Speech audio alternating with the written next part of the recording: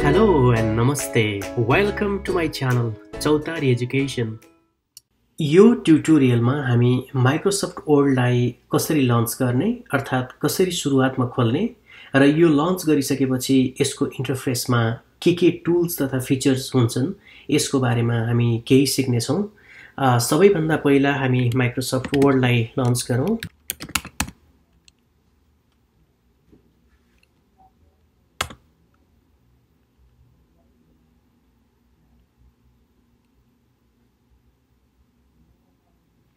मसँग यति बेला अफिस थ्री सिक्सटी फाइभ अन्तर्गतको माइक्रोसफ्ट वर्ड छ।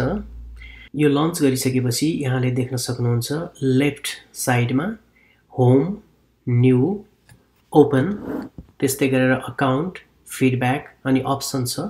यसको डिटेलमा हामी फेरि आगामी ट्युटोरियलहरूमा कुरा गर्नेछौँ। अहिलेको लागि भने हामी होम बटन अन्तर्गत यहाँ देख्न सकिन्छ।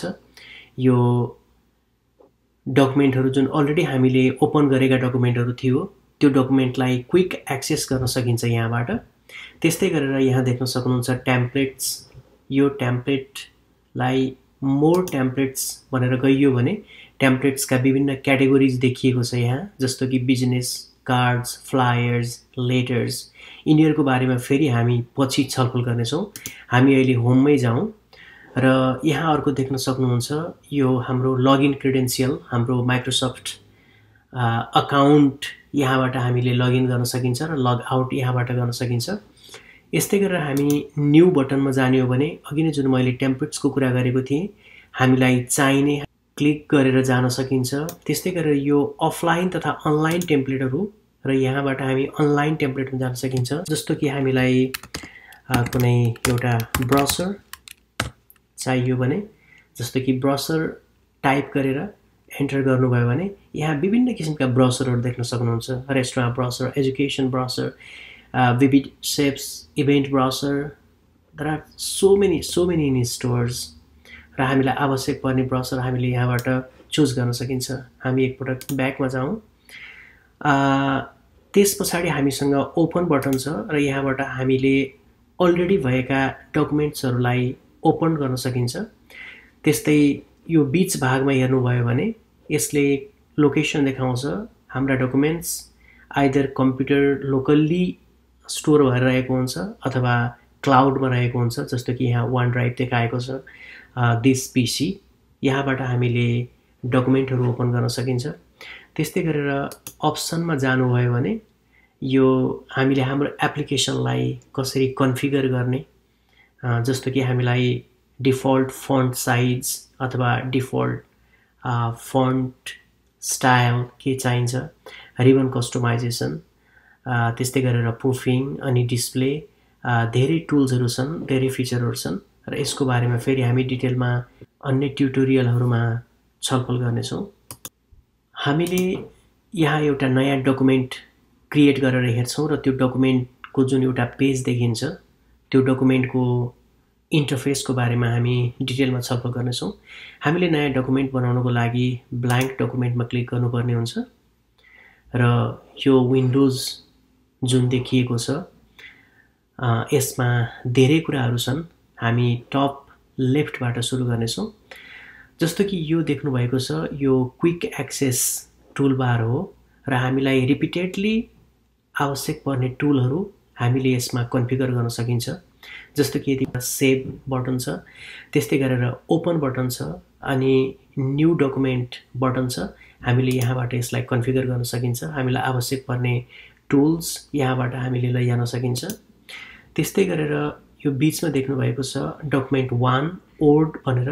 यो हाम्रो डकुमेन्टको नाम हो। सपोज हामीले डकुमेन्टलाई सेभ गर्ने क्रममा डकुमेन्ट जिरो जिरो वान अथवा समथिङ एल्स हामीले केही नाम दियौँ भने त्यो नाम यहाँ डिस्प्ले हुन्छ। त्यस्तै गरेर मैले अघि नै बताइसकेँ यो हाम्रो माइक्रोसफ्ट अकाउन्टसँग रिलेटेड लगइन क्रिडेन्सियल हो। यहाँ देख्न सक्नुहुन्छ यो रिबन डिस्प्ले अप्सन हो। रिबनको बारेमा हामी आउनेछौँ र यसको बारेमा फेरि पछि कुरा गर्नेछौँ।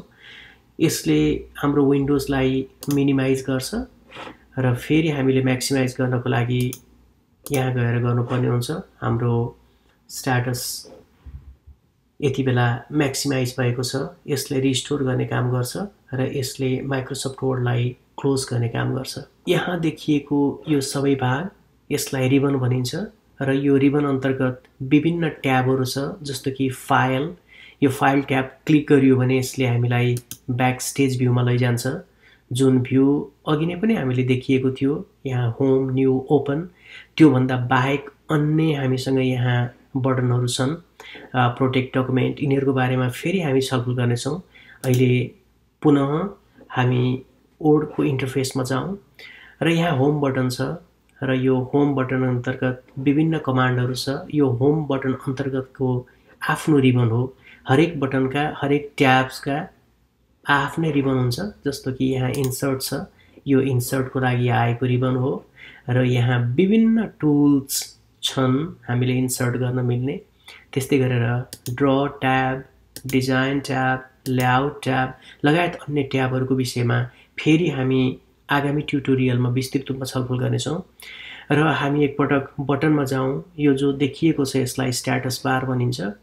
र यो page one of one suppose हाम्रो document maybe it could be hundred pages or thousand pages or something like that यसले के देखाउँछ भने वान अफ वान यति बेला हामी एक पेज मध्येको पहिलो पेजमा छौँ यदि यदि हामीसँग पाँच पेजको डकुमेन्ट छ भने यसले वान अफ फाइभ भनेर देखाउँछ त्यस्तै हामीसँग ओड काउन्ट यहाँबाट देख्न सकिन्छ अनि हाम्रो language this is English Canadian English यसको राइट साइडमा हेर्नुभयो भने यो विभिन्न भ्यू देख्न सकिन्छ हामीले। जस्तो कि यसले हामीलाई रिडिङ मोडमा लैजान्छ। हामीलाई रिड गर्न सजिलो हुन्छ डकुमेन्टहरू अनि यो प्रिन्ट लेआउट हो जस्तो कि हामीले प्रिन्ट गर्ने डकुमेन्ट एक्चुअल साइजमा यसले डिस्प्ले गरेको हुन्छ। त्यस्तै गरेर यो वेब मोडमा जान्छ। अनि यहाँ देख्न सक्नुहुन्छ यसले जुम गर्छ हाम्रो डकुमेन्टलाई यो स्लाइडरलाई लेफ्ट अथवा राइट गर्नुभयो भने हामी प्रिन्ट लेआउट भ्यूमा गएर हेर्न सक्छौँ एकपटक सपोज राइटमा गइयो भने यो जुम हाम्रो वान थर्टी टू पर्सेन्ट त्यस्तै गरेर हामीले यसरी जुम गर्दाखेरि यो सेभेन्टी फाइभ पर्सेन्ट देखिएको छ र हामी यति बेला हन्ड्रेड पर्सेन्ट जुममा छौँ।